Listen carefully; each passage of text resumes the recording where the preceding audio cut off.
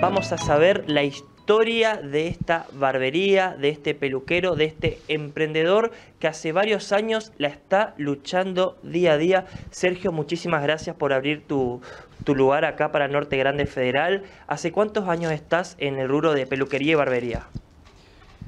Hola Ezequiel, eh, hace tres años, tres años estoy acá eh, en el rubro. Acá en este local estoy hace un mes más o menos. Bueno, ¿y cómo es tu pasión por los cortes, por la creatividad, eh, por algo tan importante como es el pelo en la gente? Sí, permiso, sigo, sigo acá mientras te voy contando.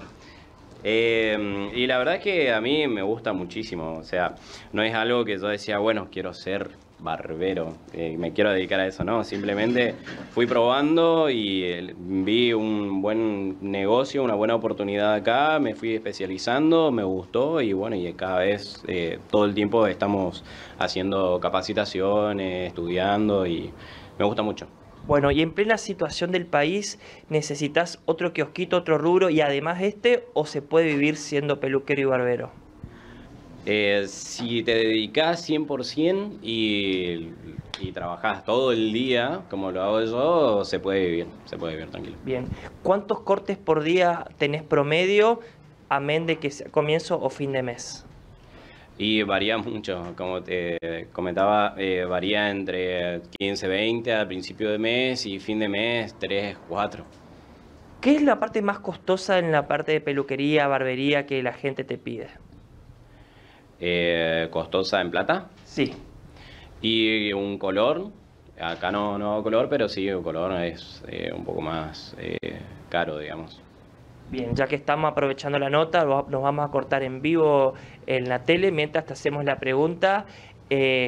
la parte de comprar tus maquinitas, tus materiales, ¿lo haces de golpe? ¿Lo haces cada tanto? ¿Cómo cuidas eso? No, no, no, voy juntando de a poco juntando, juntando, juntando hasta que llego, digamos, a la, máquina que necesito en el momento y la compro. Y obviamente eh, hay que actualizar, hay que eh, mantener, es todo el tiempo hay, hay, hay que estar gastando, digamos, comprando cosas. Bueno, vamos a ver, arrancamos el corte, vamos a ver el resultado final, no me enfoques tan de atrás, Polo Almirón, así que vamos a ver el resultado final más adelante.